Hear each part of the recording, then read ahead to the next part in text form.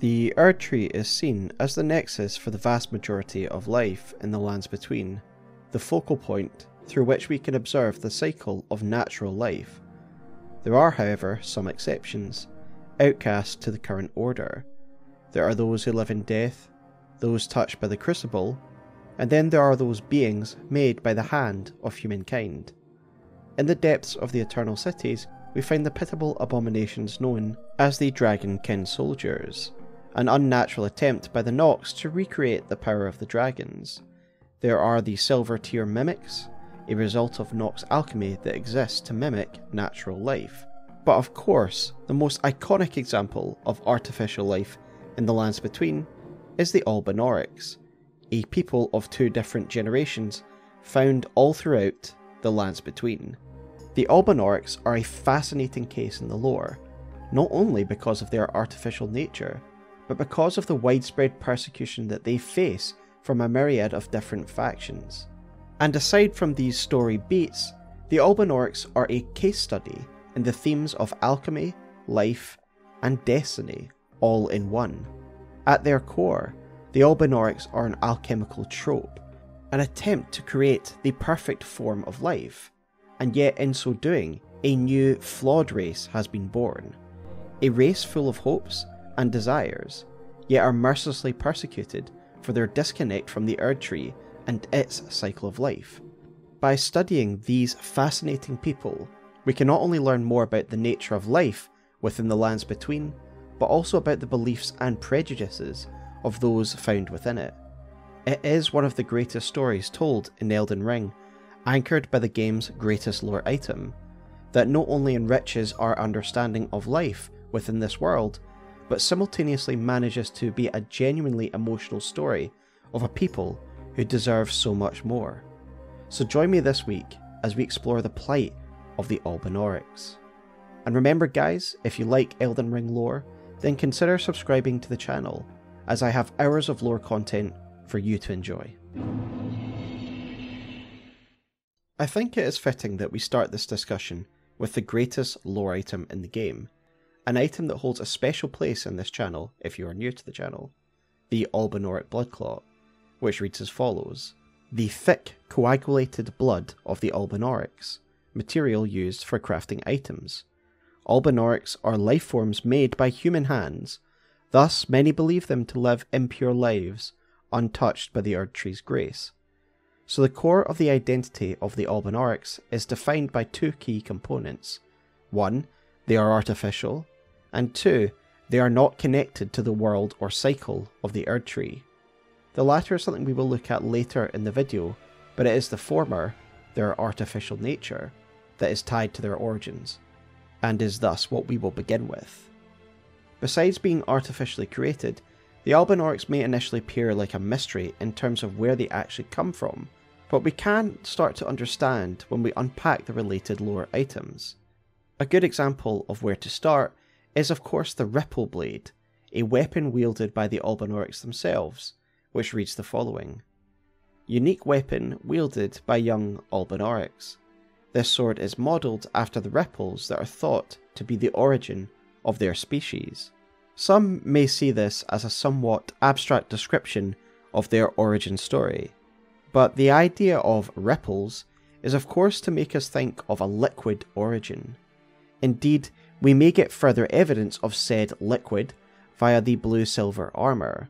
This is the armour set worn by the Albinauric Wolf Archers. This set reads as follows Chainmail hood, crafted with blue silver, worn by the wolf riding Albinauric archers. Blue silver is a metal born from the same mother as the archers themselves and provides protection from magic and frost. So, according to this piece of lore, the Albinaurics are born from the same source of metallurgy as the blue silver armour, and with that ripple description in hand, we can conclude that they are born from some kind of liquid silver. This also seems to match up with the actual look of the Albinauric blood clot and the silver liquid that they bleed when you hit them. And it can lead us to a fairly surface level conclusion already at this stage. They are man made, and they are born of a liquid silver, thus, they are a human made experiment born of some kind of alchemy. However, we can dig a little deeper and find the origins of this alchemy if we dare look at some cut content and related life forms. With that said, let us start with the cut content I'm referring to. As I always say when we look at cut content, it is a double edged sword. In some cases, it can be used to look at the intention behind some lore. In other areas, it was obviously completely scrapped and no longer has any bearing. So take it with a pinch of salt. But what I'm bringing your attention to is a cut dialogue from Thops, who at one stage would have said the following additional line after telling us about the Glintstone Key before we entered Liurnia proper. He said, Oh, one more thing. Beware the Albinaurics, accursed souls born of a forbidden rite of the Eternal City. The curse withered the legs of the old and silenced the tongues of the frogs, and now they hold deep grudges for anyone left untouched. So it appears it would have been made extremely clear as to where the Albinaurics originated from at one point the Eternal Cities. Now, this does make a lot of sense given what we know of the Eternal Cities and the Nox and their experimentation, and so it is to the Nox that we turn to next. Even before we find this cut dialogue, the Nox have always been a really solid fit for the creators of the Albinaurics, given the Nox's proven aptitude for experimentation, alchemy, and life manipulation. So let's go over the Nox and their history briefly. But if you want a more intense take on the Nox, I have done an Eternal Cities lore video, which I will link below. We know from the Nox armour sets that they were banished underground for conspiring against the Greater Will, and now they are in internal anticipation of their liege, of the coming of the Age of Stars, and a Lord of Night. And therefore, it is logical to conclude that most of the Nox efforts and experimentations are part of their effort to overthrow the Greater Will and bring up a Lord of Night. The first example of this is the object that I assume led to their banishment in the first place the Finger Slayer Blade. This blade is a bizarre product, but it is evidently needed to kill A2 Fingers, as Ranni seems unable to do it without this tool, suggesting its form and origins are special and necessary. Indeed, it is a blade that is formed from a corpse, something that should immediately make the player think of the Sacred Relic Blade, the blade wielded by the Elden Beast at the end of the game. The Sacred Relic Blade seems to be a more refined and divine process, done almost instantaneously by the Elden Beast to create a well formed and sophisticated weapon. This is, of course, in stark contrast to the appearance of the gross and malformed Finger Slayer blade, which leads me to conclude that this is a perversion of the same process utilised by the Elden Beast. The Noxian penchant for experimentation, science, and alchemy is further expressed through the Dragonkin soldiers an attempt to manufacture and hybridize the power of the dragons that has ultimately led to a pitiful failure. So it is clear that the Nox are no strangers to life manipulation via science, and this can be further explored via their work on puppetry that introduces us to their alchemical work. We learn that puppetry can be traced back to the Nox via the Night Maiden and Sorceress puppet description, which reads An old puppet crafted in the Eternal City. These sisters, members of a cold blooded race who wielded flowing weapons, became puppets of their own volition. Preceptor Seluvis will, of course, continue the work of the Eternal Cities in this regard, and it is by working with Seluvis that we learn that puppetry is essentially a process of alchemy, as Seluvis distills new puppet potions for us when we bring him starlight shards, even attempting to bind a demigod like Ranni via amber stars, and the description of amber starlight shards makes it clear that puppetry must be linked to fate manipulation, the distillation of fate latent within the stars to control or puppet someone else's destiny. The fact that the Nox developed a process to distill the fate latent within the stars to bind people really is an indicator of their alchemical brilliance. This brilliance is also reflected in a similar work the celestial dew, the description of which reads as follows A hidden tear found in the eternal city, also known as a night tear, allows one to carry out an absolution at the Church of Vows, reversing all antagonizations. Once upon a time, the stars of the night sky guided fate, and this is a recollection of those times. Again, this is an incredible product. Again, somehow distilling the fate latent within the stars, manipulating it, and allowing one to reverse the actions that they have taken, all through a potion. The point of going over these facts so carefully is because it gives a really great idea that these people are capable alchemists, and thus the perfect candidates for the creation of the Albinaurics, who, as we have already discussed, are seemingly born from a liquid silver, a alchemical formula. To further reinforce the connections to the Nox, there is another potential form of artificial life which we must consider the Silver Tears. The Silver Tears are a fairly mysterious life form, but ones that also appear to be both a substance and a living creature, a substance that is remarkably similar to the blood of the Albinaurics. So, in this next chapter, we'll examine the potential motive behind the creation of these Silver Tears and what it can potentially tell us about the origin of the Albinaurics by reverse engineering the details of the Silver Tears creation. When it comes to consider the nature of these creatures, the Silver Tears, there is nothing in game that explicitly mentions they are artificial lives. However, as we will look at in a moment, there is extensive cut content regarding a Silver Tear that makes it pretty clear that this is the intention. However, their alchemical substance form, their presence within the Eternal Cities, should be enough for us to consider that possibility. After all, as we already examined, the Nox are master experimenters and masters at manipulating life and fate. Aside from that, the Silver Tear Husk, an item related to the Silver Tears, gives us a lot of insight into the potential purpose of these beings and their relation to life. The item reads as follows A hardened husk shed by a formless life form known as the Silver Tear, found in and around the Eternal City. The Silver Tear makes a mockery of life, reborn again and again into imitation. Perhaps one day it will be reborn a lord. The end of this statement is a very pointed statement, as it refers to the mimicry ability of the Silver Tears, as we witness in our fight with the Mimic Tear, in the hope that it will one day take the form of a lord. Again, this harkens back to the overarching goals of the Nox, to remind you, the monk armor set states Now they live under a false sky, in eternal anticipation of their liege, of the coming age of stars, and their lord of night. This to me marries up well with the silver tear husk, which talks about mimic tears being reborn a lord, and again is one of the connections in the in game lore that makes us think that the Silver Tears are man made by the Nox. They are an alchemical attempt to create a life form that will one day mimic the form of a lord, their Lord of Night.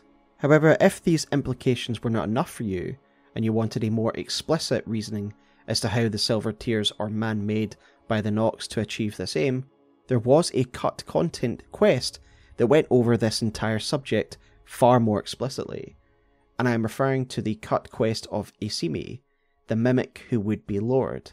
There is a great reimagining of this quest that has been done by Nullrin, and I will link that video below as it even includes these lost dialogues. In short, you would meet a sentient mimic called Asimi, who would latch onto you in a sort of symbiotic relationship. She would provide you power, while she would slowly copy your form. The finale of the quest would see Asimi leaving you after fully mimicking your form, with the intention of her being that you would become Elden Lord and you would allow her to become the Sovereign Eternal. But instead, you seek them out and defeat them. This again lines up with what we already know of the Silver Tears from the Silver Husk description, that the ultimate aim of these experiments, of these tears, were to mimic the form of a lord, their Sovereign Eternal, their Lord of Night, and because it lines up with the existing lore and doesn't seem to contradict it, I have no reason to doubt the lore found in this quest. And if I was to guess why it was cut, I would say it's because it actually provides just too much of a lore dump. And possibly provided an alternative ending that they just didn't have time to implement properly. In part of this quest, Asimi would ask the player to visit the Eternal Cities to find the source of her people. The dialogue would go as follows My Lord Host, Great Host, may I ask something of you? A chalice is close by, the cradle of my kind. Would you mind finding it for me? The chalice will quench my thirst, rejuvenate my flesh, and allow me to grant you further strength. My Lord Host, great Lord Host, a tear chalice lies in these lands too. Our mother chalice, please search out this most sacred chalice. It is suffused with the blessed wonders of the stars. It will allow us to become a perfect whole. So, obviously, this dialogue is really revealing, and it talks about a mother chalice, the source of silver tears, and this really sums up what I have been implying that the silver tears were an alchemical creation of the Nox, an attempt to mimic and artificially create their Lord of Night, a sovereign eternal. The talk of a mother chalice suffused with the stars obviously makes us think of a liquid, a formula. We have already seen how the Nox can manipulate and distill the fate latent within the stars, and why not use this to create a new life form? With this understanding, we can now turn our attention back to the subjects of this video, the Albinaurics themselves, who are an artificial being that bleed a silver formula.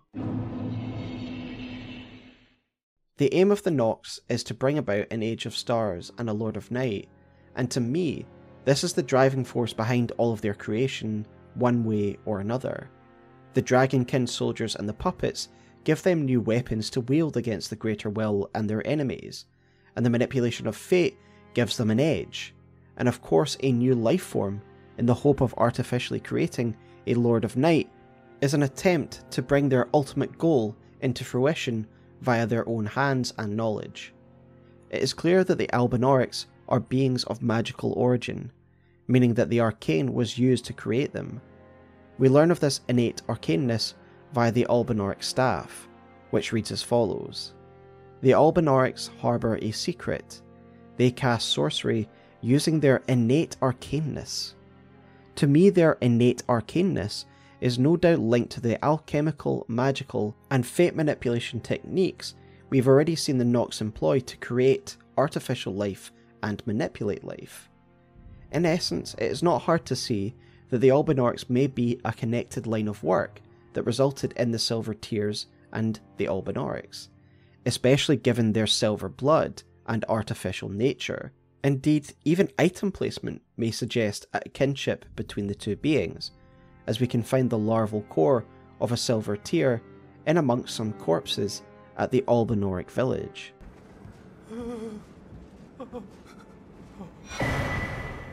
Zullie also makes this connection as well between the silver tears and the Albinauric people, and highlights a previous item description of the silver blue armour, the armour worn by the Archer Albinaurics. In this older item description, the Albinaurics had a much different name, as it refers to them as the Children of Silver. And this is of course tying us back to what we looked at at the beginning of the video, where there's plenty of evidence that the Albinaurics are born from a silver liquid alchemical formula, with the blue silver armour even now directly saying they are born from the same source as the silver in their armour. In conclusion, the Albinaurics are most likely a Nox homunculi, an alchemical experiment to create the perfect being, to create the sovereign eternal. And much like the Silver Tears, they are born of a liquid formula, hence their silver blood. One of the theories of alchemy is the notion of the three primes, a theory developed by an alchemist called Paracelsus in the 16th century. The three primes are salt, sulfur, and notably, for our video, mercury but there's also a spiritual element to each of these materials, as there always is with alchemy. Salt represented the body in anything solid, mercury represented the mind in anything fluid, and sulfur represented the soul, anything that combusted. So in our case, it is clear that we would assign the silver working material behind the Albinaurics as a fluid mercury material, a bridge between body and soul, and yet neither. And it now makes sense when you think about this alchemical background, why the associations with silver, a liquid silver, or mercury are used so heavily in the game when we look at the Nox's alchemical creations. Under this idea, this theory, every being had an aspect of all three the mind, body, and soul salt, mercury, and sulfur. However, these mercurial beings, these silver tears and the Albinaurics, do they have a soul? Are they missing one of the three primes? This would lend us a greater understanding in why the Albinaurics are seen as impure.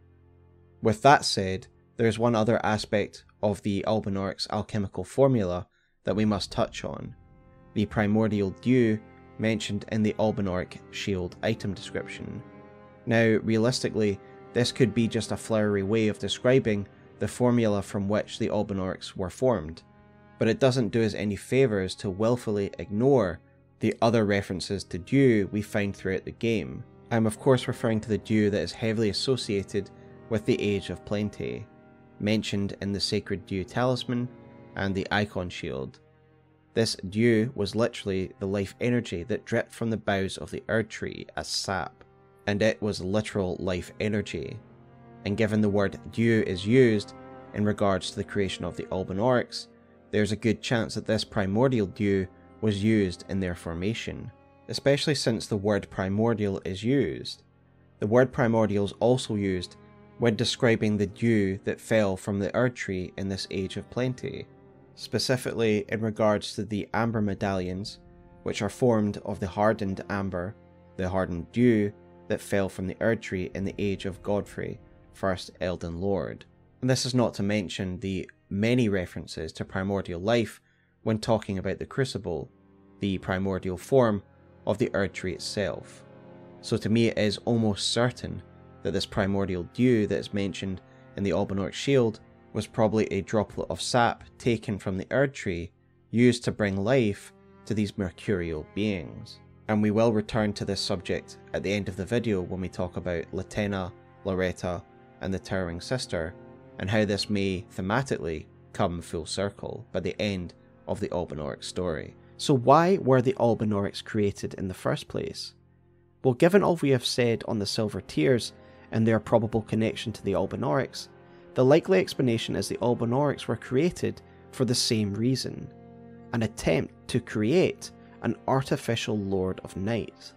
So far, we have made particular focus on Noxian alchemy, and this is justified given the Nox products such as the Celestial Dew, Puppet Formula, and the Silver Tears. Alchemy is particularly important to understanding what the Albinaurics symbolise and why they would be created in the first place. It is no great revelation at this stage to say that the ideas of alchemy thematically influence some of the parts of Elden Ring. Of course, the most prominent example would be the idea of the rebus, the perfect meld of male and female in a single body, as represented by the Marika Radagon rebus. There is a concept in alchemy called the homunculus, which was the alchemical pursuit of creating the perfectly formed miniature human being. As pointed out by Zullie, there is actually a Magic the Gathering card called Homunculus that very much looks like a second generation Albinauric. This is relevant because in one of Ziostorm's discovery videos, he makes the observation that Magic the Gathering is very much an inspiration for various Elden Ring motifs, and so this connection seems all the more probable if this homunculus card was used as the artistic inspiration for the second generation Albinaurics. The alchemical process of creating a perfectly formed human being seems like the perfect solution for a society who wants to find their Lord of Night by any means necessary. And so it was that the Nox tried to create their own perfect being, their Lord of Night, and instead they created a flawed yet sentient creation, the Albinaurics. At least that is my most logical speculation. The very nature of the Albinaurics is an interesting thing to consider as well, as it brings us back to the holy grail of lore items, the Albinauric Bloodclot. The item description of the Bloodclot makes it clear that the main reason that the Albinaurics are treated like dirt is because they are not natural, and specifically, they are not touched by the grace of the Erd Tree.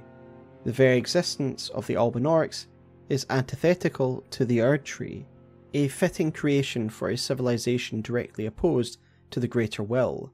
Everything about the Albinaurics' origins thematically fits with them being a Nox creation, and an attempt at creating a Lord of Night to oppose the Order of Grace.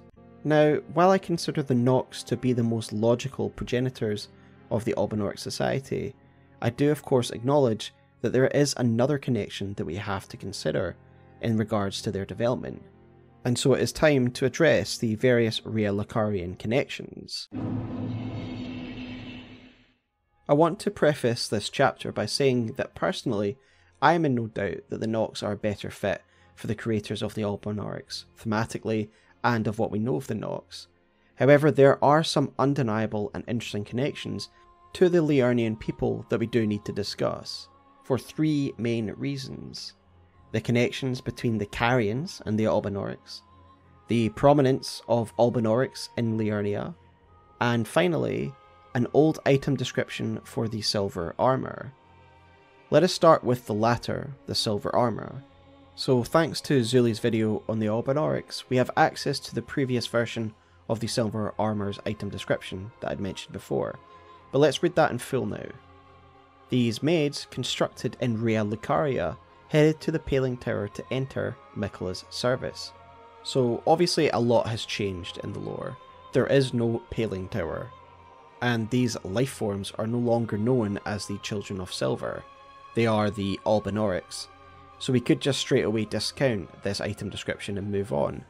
However, I do think cut content can sometimes still be useful in trying to understand the intentions behind the lore, even if the details have changed. Especially since there are still connections to Raya Lucaria, Liurnia, and the Carians in regards to the Albinaurics. Much as I use the location of the Silver Tears within the Eternal Cities to justify their origins being attributed to the Nox, Many would use the location of the vast majority of Albinauric population in Liurnia to link their creation to the Raya Lucarians or the Carians, and this is totally fair, especially given we don't find any Albinaurics in the Eternal Cities.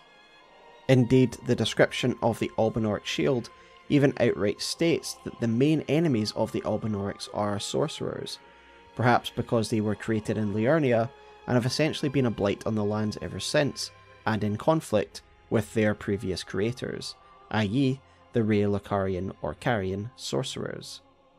There is further evidence that the Albinaurics could have been created by sorcerers rather than by Nox alchemy, and as such, I refer us to an item description I cited earlier, the description of the Albinauric staff, which talks about their innate arcaneness.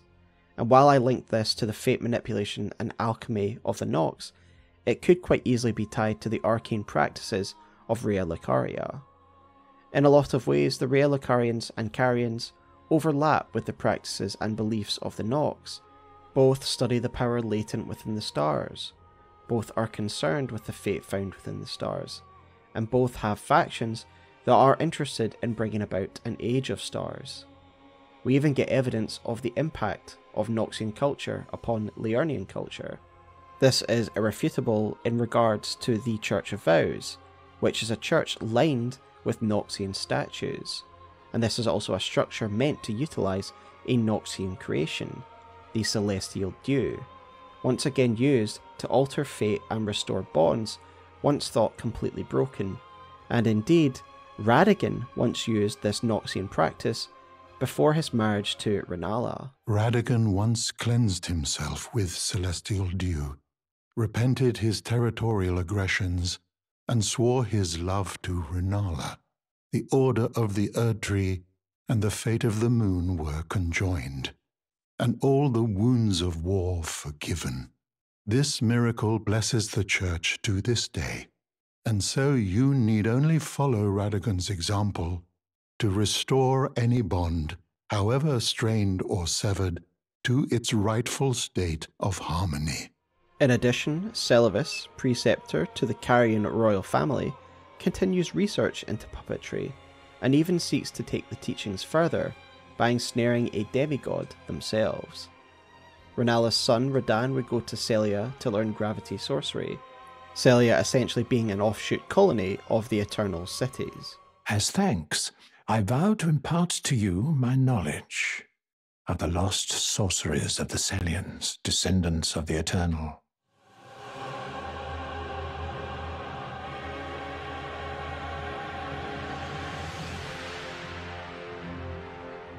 Finally, Ranni, of course, has some contact with the Eternal City when she conspires with them to commit the Night of the Black Knives. The point being is that there are plenty of opportunities for a crossover of culture and ideas between Nox and Liurnia, and so it is therefore not unthinkable to believe that a faction of Liurnian sorcerers replicated or built upon the works of the Nox in regards to artificial life forms. Indeed, we do see a number of first generation Albinaurics specifically serving the Carian family, such as Pidia and other members found throughout the Carian Manor. We also have Loretta herself, possibly an Albinauric, who serves as a Carian knight, who may well be the most successful attempt at harnessing the potential of the Albinaurics. A mounted, bow wielding knight, no less, that could just be a more successful variant of the mounted, bow wielding Albinaurics we see in the consecrated snowfields. So, what is the truth behind their creation? Did the Nox create them, or was it a Raya Lucarian or Carian creation? Well, the balance of truth is for you to decide, but I believe both could be true. I do believe that they do originate from the work of the Nox. The evidence we looked at previously is too strong, and the thematics fit very well. However, it could have been expanded upon by Raya Lucarians and Carians. My belief is that the work did originate with the Nox as an experiment to create a Lord of Night, but that the Raya Lucarians and Carians may well have piggybacked off it in an attempt to create warriors and servants, and this would explain why there are so many Albinaurics in Liurnia, specifically some serving the Carian royal family. Like I say, the balance of truth, or where you decide they come from, is for you to decide. I believe it falls between the two, Either way, the results are the same. Human hands created these flawed beings, and whatever purpose they hope to harness these beings for, it has clearly failed. And the Albinaurics now are in direct conflict with the forces of Raya Lucaria and are persecuted by many others. So let us now examine the current state of the Albinaurics themselves and their plight in the lands between. However it happened, the Albinaurics were created, but they are no mere tools as probably intended. Instead, they have developed into their very own people, with their own desires and beliefs. There's, of course, the main distinguishing feature of the Albinauric peoples the two very distinct generation. The first more humanoid variation, which comes in two different variants the older male version and the younger female version. Then there is the second generation, which are the more frog-like and dumpy ones we learn that there are two different generations of the same people via the Albinauric Ashes, which reads A strapping duo of cartwheeling spirits who wield ripple swords and spew freezing breath. Both are second generation Albinaurics, with dumpy heads that resemble those of frogs. So the fact that there are a second generation could mean one of two things. Firstly, it could be that the first generation of Albinaurics are able to reproduce but their offspring are radically different from them or devolve. And then there's, of course, explanation number two, which is much like how iPhones have different generations. The second generation of Albinaurics could be a second line of Albinaurics, that they are a second attempt by their creators to improve upon the first generation. Given what we know about the Albinaurics at the end of Latenna's quest, it appears they cannot reproduce, and so it must be option 2. We know that one of the main faults of the first generation is, of course, their failing and fading legs. This is a process described to us by Old Albus himself. My legs will soon fade, and with them my life. Alas, this is the immovable fate of all Albinaurics. So, why do their legs fade and fail? Well, given the alchemical and magical origin of the Albinaurics, it would make sense that this is an alchemical failing. The legs don't only fail, they literally fade, as we can see from the shadowy remnants we can see attached to the older Albinaurics. So it makes sense now that there is a second generation of Albinaurics. The first generation are quote unquote faulty, and the second generation do improve in this regard. They are able to walk, but they have their own feelings, uh, we will look at momentarily. There are other aspects of the first generation I'd like to analyse first. One point of interest is, of course, the first generation's unbelievable skill with magical bows. Latenna's ashes do confirm that they are magical archers, which explains why their arrows literally track moving opponents. Their ability to do this must be a result of their innate magical arcaneness, and I do see this as evidence that Loretta is one of their number, as she too is able to summon magical homing arrows, but without a bow, possibly showing she is more potent in this regard, more successful, not even needing the physical medium for this ability. There's one other aspect of the first generation I want to talk about, and that is their appearance. I have already spoken on the fact that there are two variants to the first generation, as most people will notice. There is the older variant, which has male features, and then there is the younger variant, which has female features. Now, the simplest explanation, and probably the most likely, is that this is just the design choice made by the team, that they had younger models and they're female, and they had older models that are male. However, there is something else to consider, given the alchemical roots and connotations to the Albinaurics. And the question I pose to you is this Are the first generation Albinaurics some kind of rebus? What I am suggesting here is is it possible that they are female when they are young, but become male when they age, and that they are some sort of alchemical hermaphrodite? Now, I know this is a bit out there, but I can't help but notice that the female Albinaurics are always mentioned to be young. Latenna refers to Philia, the giant towering Albinauric, as their young but towering sister. Albus also refers to Latenna as young, and yet all the male appearance characters in the Albinauric Society are older, bearded, and decrepit, and their legs are literally fading. While the legs of the younger Albinaurics are, of course, also not working, they aren't fading yet, which suggests there is an age gap. Now, the reason that this is important to something connected to alchemy is because of the concept of the rebus. If you aren't aware of the rebus or you haven't heard my earlier videos where I've spoken about it, the rebus is said to be the ultimate goal of alchemy. It is the perfect meld between man and female in a single body. And of course, this is represented in game by Marika and Radagon. So, being beings of alchemical creation, what if they are created to follow the same ideals, to be the perfect creation of alchemy, to mirror the god of this age? This, of course, wild speculation, and it's not something I certainly consider to be canon, but it is a nice idea, especially since it would tie in with the alchemical themes of the Albinaurics, as well as nicely explaining why there are only young female Albinaurics and older male Albinaurics. If that is too wild for you, I do have another possible explanation for you, and it does again return us to that older description of the silver armour, which specifically describes the maidens as being built in Raya Perhaps the first generation female Albinaurics are the creations of Raya Lucaria, and the older male ones are the creations of the Nox. And this would also make sense and tie in to the fact that Loretta serves the Carian royal family and is most likely following the design of the female archer Albinaurics. Again, all speculation, and the most likely explanation is that it's just the design choices for the male and female models of the Albinauric first generations.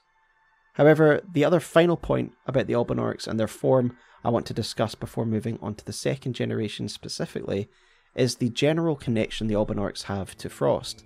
So, one of the major indicators to this connection is, of course, found in the Albinauric ashes, which tells us the fact they can spew freezing breath.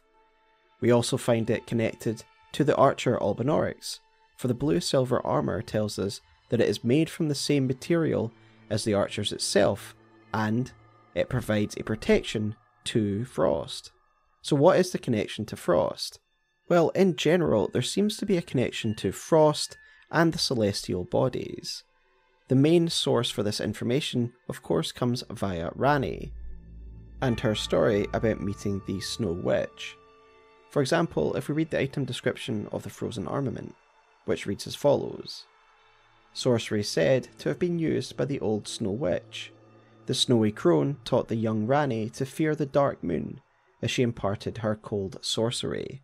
And so when Ranni attempts to bring about the age of stars, the dark moon becomes her sigil and her guide. However, equally, the cold seems to be part of her makeup, part of her identity. This is reinforced by the description of the royal greatsword, which reads In defiance of the fate he was born into, Blaidd swore to serve no master but Ranni. As proof, the sword was imbued with cold magic at the moment the oath was sworn, and so the cold is as equal to the moon when it comes to Ranni and her ideals. And to me, this is just because the cold or frost is associated with the moon and other celestial bodies in this world, and this is in contrast to the Erdtree, which once used to represent warmth as we learn from the warming stone item description. And so to me, the association with cold that we find with the Albinaurics has to do with their origins once again. We know that the Nox are of course associated with the celestial, and most likely used the distillation or essence of the stars to create the Albinaurics in the first place, and that in essence explains their affinity for the cold. But with that said, let us now move on to the second generation and examine these peculiar creatures. While without the weaknesses of the first generation, regarding their legs, they have obviously come with their own flaws. Aside from being more monstrous and malformed than their more human first generation, they also apparently cannot speak. This is again according to the cut Thops dialogue that we referred to earlier, that states that the frogs have been silenced in regards to their tongues. I have no doubt to believe that this is still true in the in game canon, despite it not being mentioned explicitly anywhere else in canon. I think this is also reflected in the way they behave, especially if you compare them to the first generation. There is a huge difference in the culture. Whereas the first generation seem more human and are willing to set up their own societies, much like a human society would, the second generation seem to move around in roving gangs or bands, much like an animal pack. And if these beings lack the ability to intelligently communicate, like the first generation can, this indeed does make sense. Even the armour and clothing that they wear pales in comparison if you compare it to the silver armour of the archer Albinaurics. The second generation Albinaurics wear dirty sacks and dirty chainmail. But this doesn't mean that there isn't any connection or interaction between the two generations. Indeed, in the consecrated snowfields, it seems as though they exist peacefully side by side, with the Albinauric archers and the second generation Albinaurics guarding Ordina liturgical town. Indeed, I commented on the apparel of the second generation Albinaurics, how it's dirty and crude, and it reflects the more bestial and basic nature of the second generation. And while this meshes well with the huge clubs of some of the larger second generation Albinaurics, it clashes quite harshly with some of the other weapons wielded by the second generation, the silver shield, the ripple blade, and the ripple crescent halberd, which seems so finely crafted, to a degree beyond even some human capabilities. Indeed, not only the form of these weapons are sophisticated, but also the lore bended within its design. As you can see from all of the descriptions for these weapons, they are meant to be artistic representations of the Albinauric's origins, the ripple of their alchemical formula given what we see of the second generation Albinaurics, the way in which they behave, the clothes that they wear, and the clubs that they wield, it seems very unlikely that they are the ones that crafted these weapons. I would instead suggest that these weapons are supplied to them by the first generation Albinaurics, who would be more familiar with their mythology and origins, and more likely to be able to forge impressive weapons, given what we see of their craftsmanship in their silver armour. This is my own speculation, of course, but I believe it to be a sensible conclusion. To surmise, the first generation appear to be closer, what we'd consider to be a normal human society. We can see this in the way in which they act, speak, interact, and build communities. The second generation Albinaurics, while still sentient, do seem to be more simplistic in nature, moving in roaming gangs, more aggressive and territorial, and more likely to be manipulated, as we will see in later chapters. Despite this, the second generation clearly have caused a lot of issues for the Raya Lucarians and the Cuckoo Warriors. Their location around the crumbled ruins of the Academy town is interesting for a number of reasons, not the least that the Raya Lucarians and the Cuckoo Knights seem to have had to barricade themselves in at the Raya Lucarian Academy, essentially ceding the ground outside of it to these Albinaurics. Were the Albinaurics responsible for the downfall, for the destruction of the Academy town? Probably not, as it does seem that some kind of natural disaster has befallen this region, an erosion that has led to a collapse of the land that once surrounded the Raya Lucarian Academy. We can see this in the bridges as well. Despite this, the Albinaurics now seem to have taken control of these ruins, and this is a fair payment, as we will learn in the next chapter when we talk about the persecution that the Albinauric people have faced in the lands between. One of the best written sources to understand the type of hatred the Albinaurics face is the Albinauric pot, a weapon that can be made from the blood of the Albinaurics themselves. The item description reads as follows The Knights of the Cuckoos do declare, Behold, thy defiled blood, unlike any humour that flows in our grand realm. This basis for Cuckoo Force's hatred of the Albinaurics of course ties in with what was said in the Albinauric blood clot, that people hate the Albinaurics because they are not natural beings, and in essence, this seems to be the basis for a lot of their mistreatment as they aren't even seen as living beings worthy of consideration. While quite late on in the video, it is worth analysing the etymology of the name Albinauric to see how it is an appropriate name.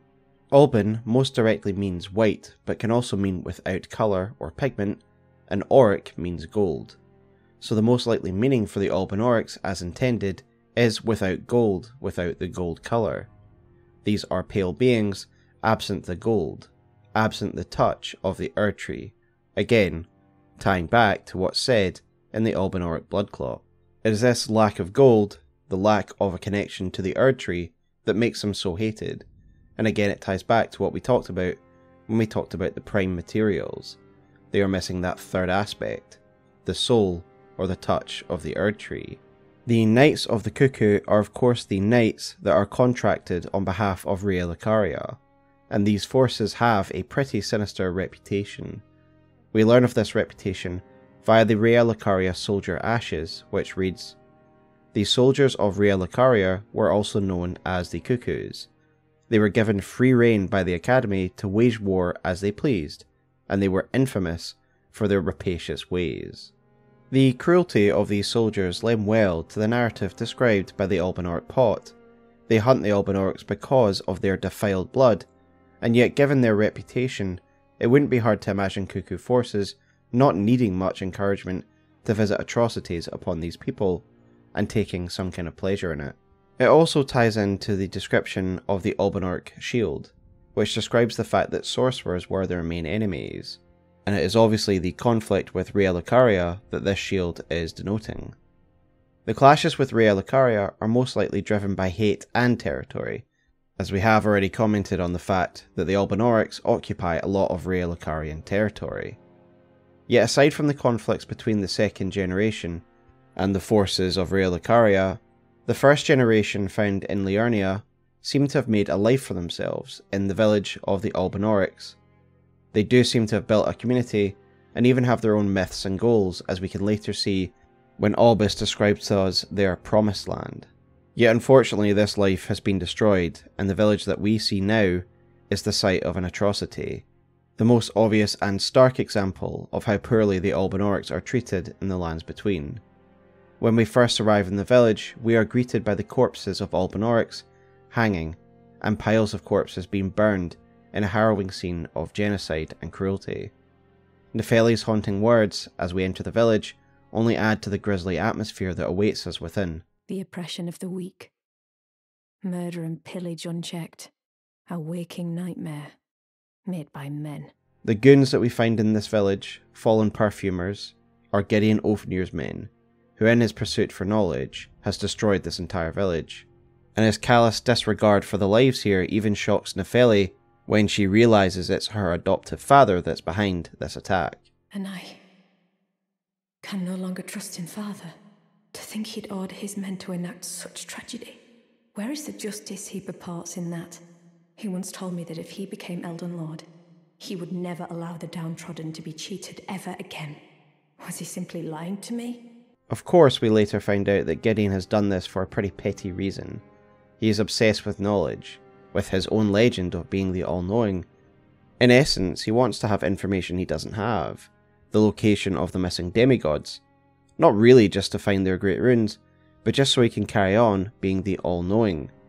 And indeed, later on, he directs us to find information on the missing demigods, and even notes his frustration in not knowing all of the information. I heard speculation Miquella embedded himself in the Halig tree.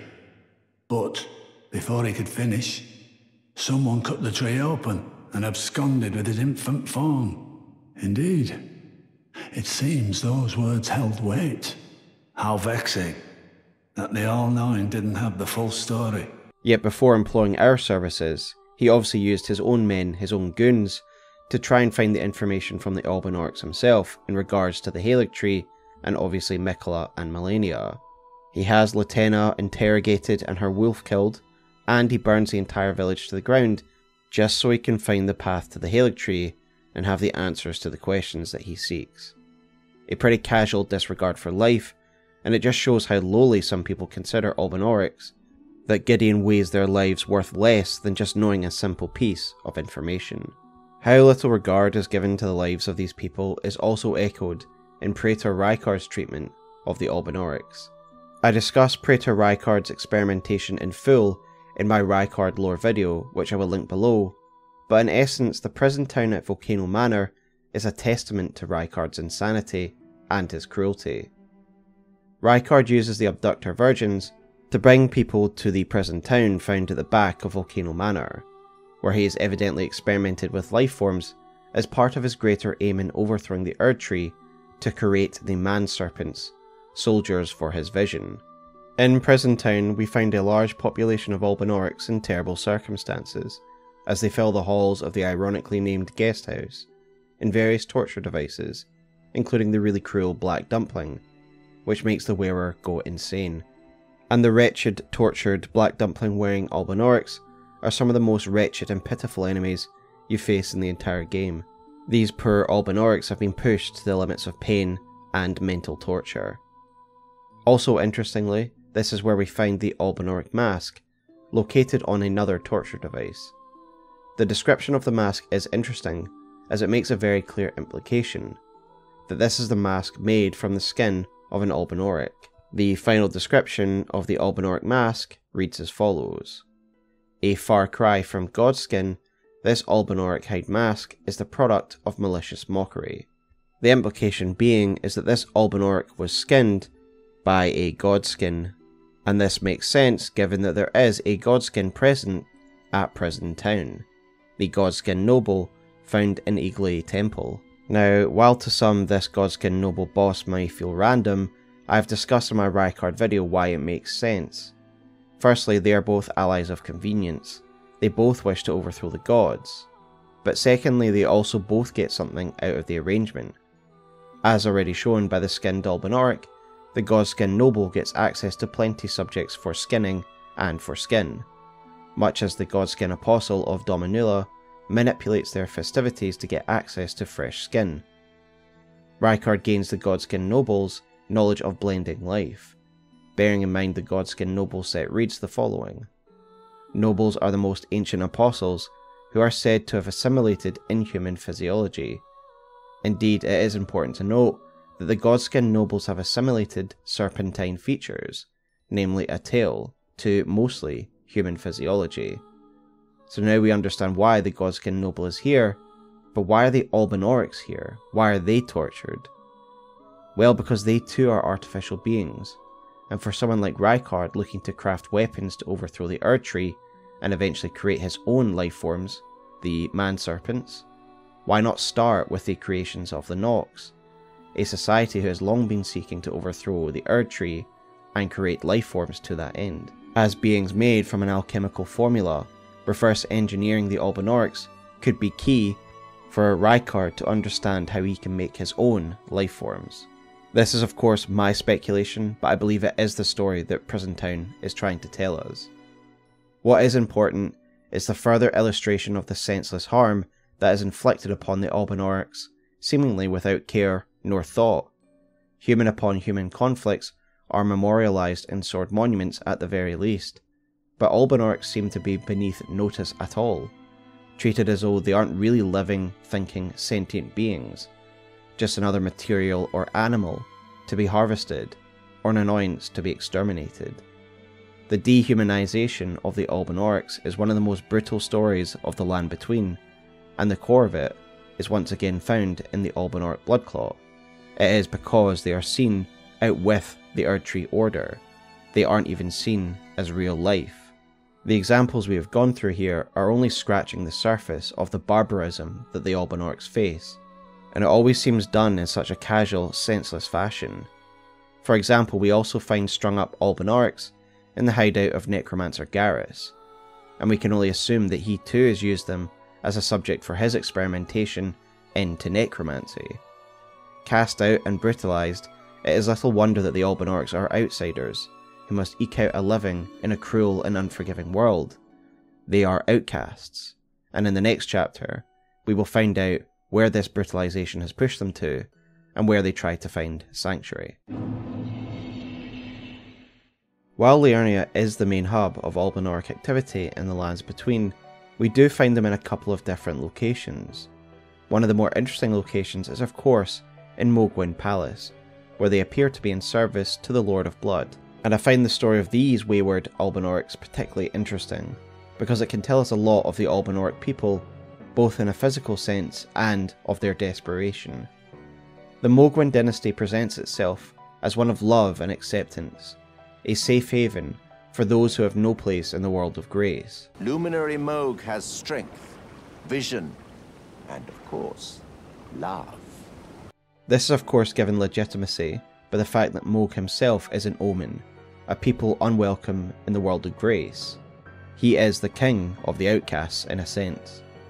It is no wonder that a persecuted people may feel drawn to such a community, and indeed the placement of the enemies within Liurnia and the consecrated snowfield hint at this draw that the Mohgwyn dynasty has to the Albinaurics. The centre of the Formless Mother's influence in Liurnia is of course Rose Church, and if you want more detailed look at all things Mohgwyn dynasty, I would direct you to my Mohg Lord of Blood video. Near Rose Church, you can find a group of Albinaurics staring at the Rose Church, almost curiously, as if they are being drawn to this church and are considering joining the Mohgwyn dynasty. We also see this in the consecrated snowfield when you find an Albinauric standing very close to the bloody portal that leads to the Mohg Palace. When we form our own covenant with the Formless Mother and Mohgwyn dynasty, we give our finger over to Varré, who then seems to inject us with something, and we then receive the bloody finger item in return. Oh, good heavens. Clench your teeth or something. The description for this bloody finger item reads as follows Glistening blood has been siphoned into the nail of this finger. Its sickly pale skin feels nothing now, but the nail still aches with sweetest pain.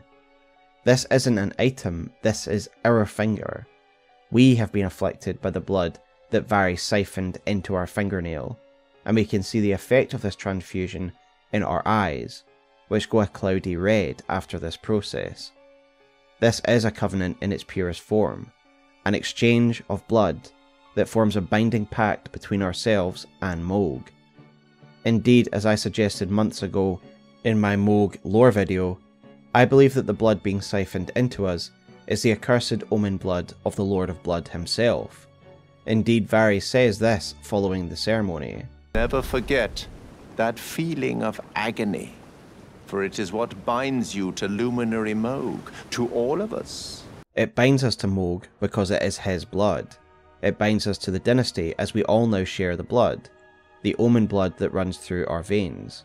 And I believe we can see the effect of the omen blood on the dynasty nobles, who have omen horns and pale skin like Mohg, like the Omen.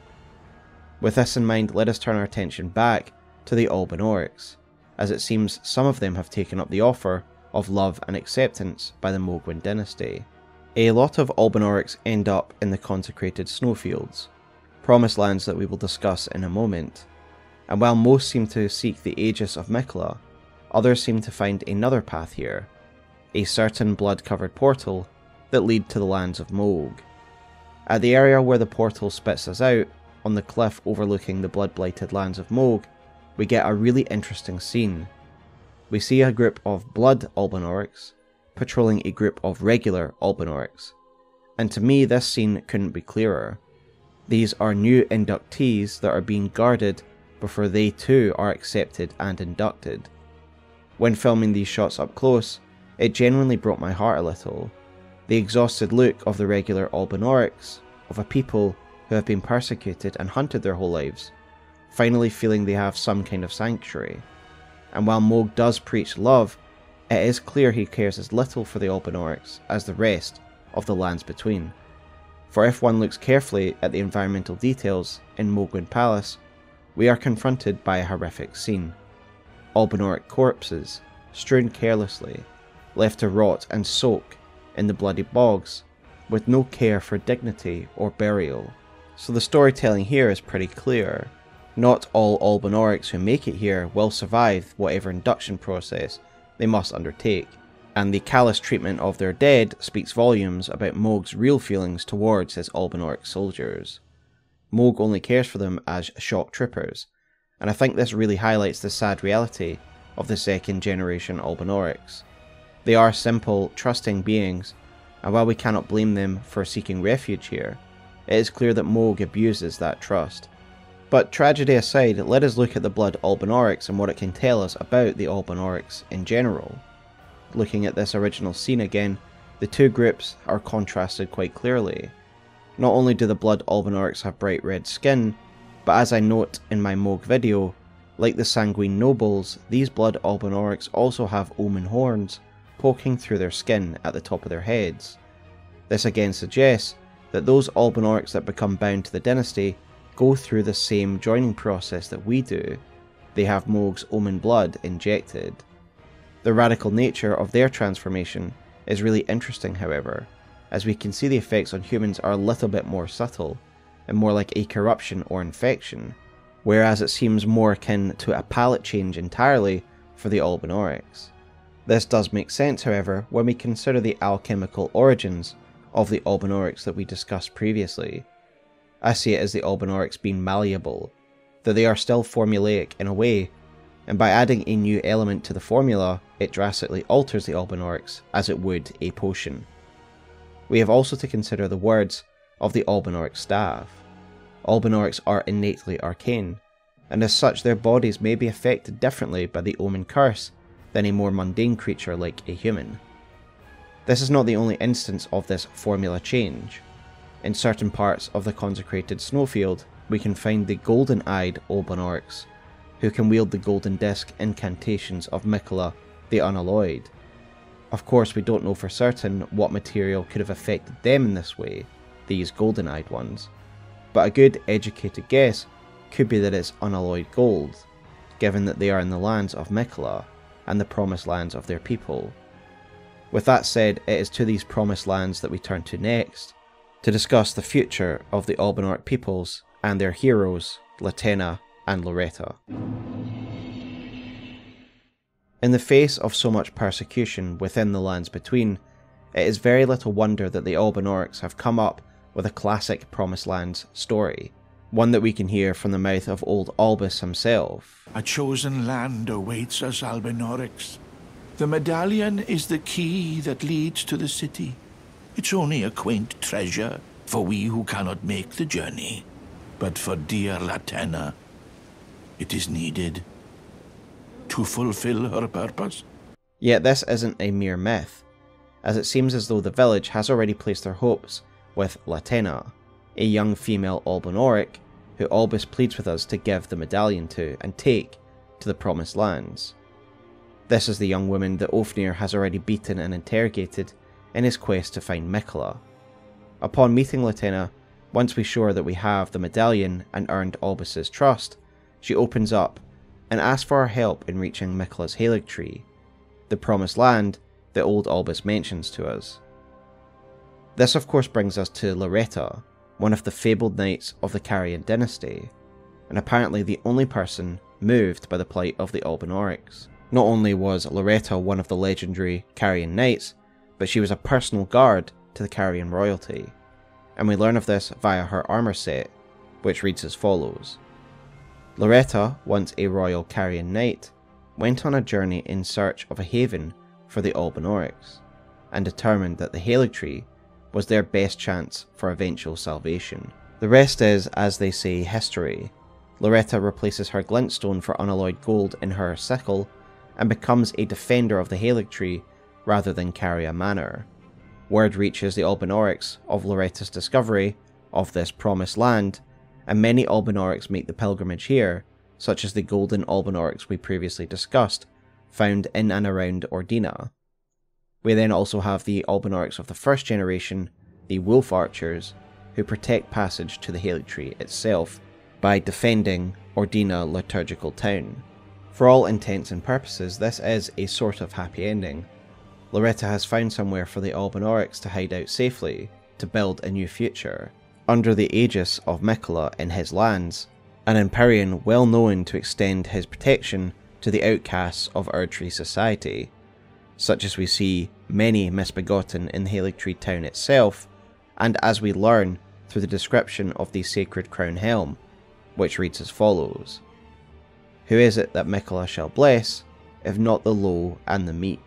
Indeed, we have to assume that, like Loretta, the Albinaurics found in the consecrated snowfield owe some loyalty to Miquella, guarding passage to the Halig Tree in exchange for being allowed to settle here, as well as being evidenced by the golden Albinaurics that we spoke of earlier, Albinaurics that seem to have taken on the miracles and appearance of the Unalloyed himself.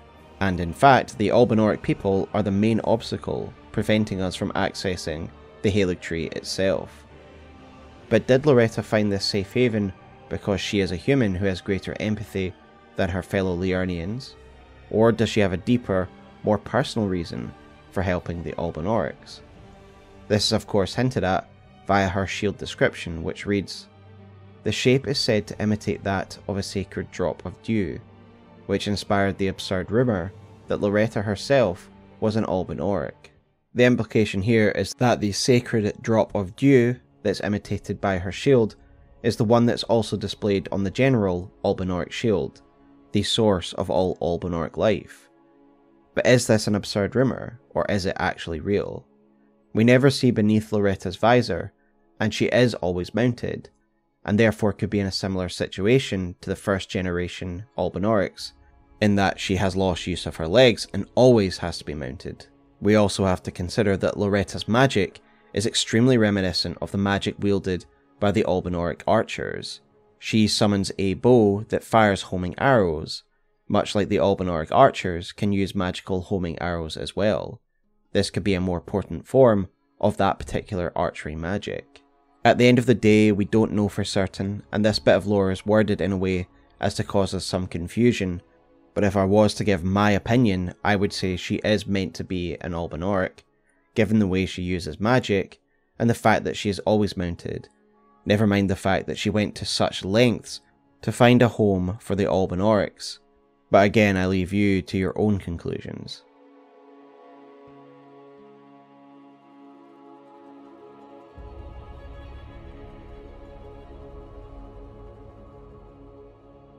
Either way, it was Loretta who finally paved the way for a better chance at life for the Albinaurics. But perhaps there's more for them here than just a safe haven. Perhaps there is a future for the Albinauric people. Albus impressed upon us the importance of Latenna making it to the Promised Lands. And if we do so, if we help Latenna reach the Promised Lands of the consecrated snowfields, we can witness one of the happiest moments in any Souls game. A future for the Albinauric people that they so sorely deserve. O young yet towering sister of ours, let the birthing droplet in and create life for us, for all the Albinaurics. When we first enter the consecrated snowfields, there is a dialogue where Latenna states the following We have reached the lands of Miquella's Haligtree, where Lobo and I began our travels. It is entirely thanks to you that I am so close to home. These great snow laden lands stretch far to the north, and beyond the ancient bowers and the liturgical town of Ordina lies the place to which I must return. Latenna has been here before. This is where she began her journey, and where she is to return. And given that she is of the archer archetype, and this is the only place we find them, it makes sense that this is her home. This means that Latenna travelled from here to Liurnia to collect something, and then return it to the Towering Sister. This makes sense of why Gideon specifically targets Latenna. He knows that she has come from the Haligtree area, and thus must have a way back, or at least have knowledge of how to get back there. But what has Latenna come for? She evidently came for the item that she passes on to the Towering Sister, what she calls the birthing droplet, an item or a substance that will allow the Towering Sister to provide new life for the Albinauric people. The broad strokes of what is happening here is quite straightforward to everyone. This birthing droplet will allow the Albinaurics to give birth to reproduce or create their own new life as an independent race. It is a quiet moment, but to me is as powerful as the A Future for the Krogan scene in Mass Effect 3. We have just witnessed the future of a people being granted. But what is the nitty gritty of what's happening here? What's the science? Why is the giant sister giant? What is the birthing droplet, and where did it come from? First of all, why the giant sister is important, and why she is giant. Well, first of all, we do have a name for this character. As if you are horrendous enough to kill Latenna, she cries out a name Philia. With one less L, Philia is the Greek word for love. Philia is the love of her people, she is the hope of her people, and evidently the vessel through which they hope to bring about a new generation of Albinaurics. But why is she large and why is she special? So we don't really know this for sure, but to try and provide some kind of satisfactory answer, I would again refer to the origins of the Albinaurics, and specifically looking at the blue silver armour, this time paying special attention to the semantics. It says, Blue silver is a metal born from the same mother as the archers themselves, and provides protection from magic and frost.